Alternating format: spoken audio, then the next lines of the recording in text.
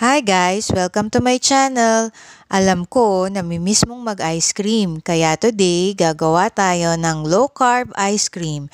But before we get started, kung bago lang kayo sa aking channel, please don't forget to subscribe. Ilista na ang mga ingredients. 1 cup low-carb condensed milk. How to make low-carb condensed milk? Ilalagay ko ang link sa ibaba. 1 and a half tablespoons of cocoa powder. 2 sticks equal gold. 2 egg yolks. Half teaspoon vanilla. And 2 tablespoons of cheese. Let's get started! Kailangan natin ng mainit-init na low-carb condensed milk. And since na-prepare ko na ahead ang low-carb condensed milk ko at na-store ko sa refrigerator, medyo tumigas ito. So ngayon, kailangan natin tong i-melt. Kailangan nating siguruhin na completely melted ang low-carb condensed milk bago tayo mag-proceed. Pag okay na ang consistency niya and slightly warm na siya, we can now proceed. Ngayon, i-add na natin ang cocoa powder. Umpisahan na natin siyang i-mix. Kailangan mahalo natin ito ng mabuti. And we're almost done mixing. Ngayon naman, ang i-add natin ay ang equal gold. I-mix natin ito para maging uniform ang sweetness.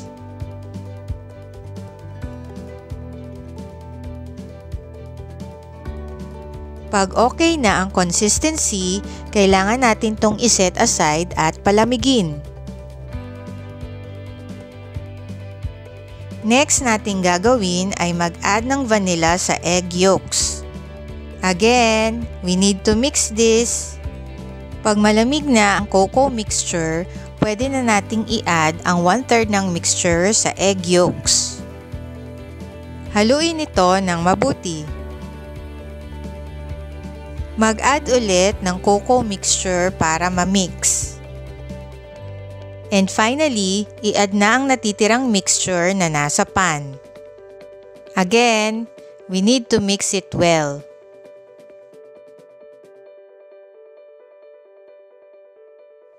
Mmm, looks yummy! Mag-add muna tayo ng cheese. Haluin ito.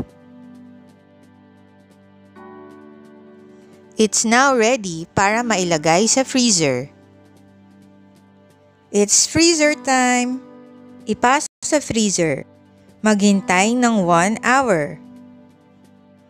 After an hour, ilabas ng freezer Ganito ang magiging itsura niya at mapapansin na medyo malambot pa ito. Hindi pa ito kasing firm ng ice cream. Kailangan i-mix natin ito ulit.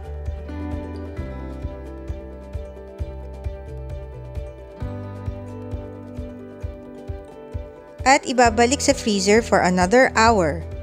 After an hour, ilalabas natin siya ulit ng freezer. Ayan, matigas na ang ating ice cream.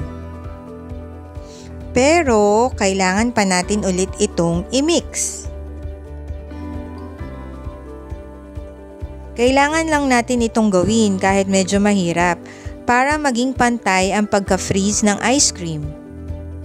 At pabalik na naman siya ng freezer. After another hour, perfect na ang ating ice cream. Ang sarap nito, promise. It's very creamy. Gawa ka na rin nito, low carb ice cream na satisfy ng cravings mo, nakatipid ka pa. Invite ko na din kayo sa LCIF Association. Get your LC supplies just like the ones used in this video at a discounted price. Pwede ka rin mag-LCIF coach training kung gusto mong maging certified coach. And pwede ka din magbenta sa LCIF community once you become a partner merchant.